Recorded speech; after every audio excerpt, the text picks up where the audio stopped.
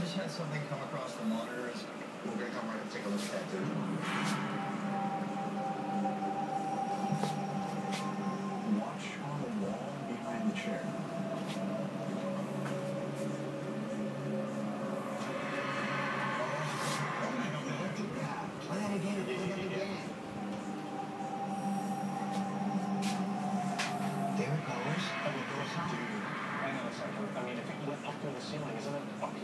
Would be because the hallway's right over in that area over there.